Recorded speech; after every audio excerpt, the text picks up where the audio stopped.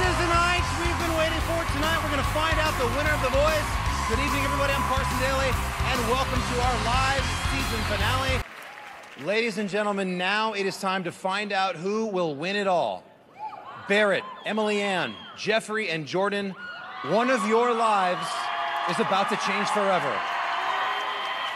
I will first read the name of the artist in fourth place. Here we go.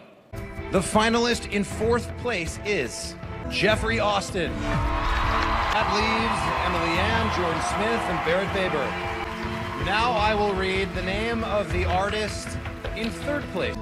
The finalist in third place is Barrett Baber, Team Blake, Emily Ann Roberts, and Jordan Smith.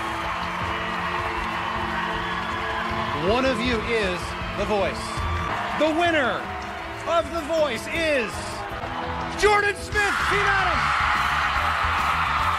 Congratulations and a big hand.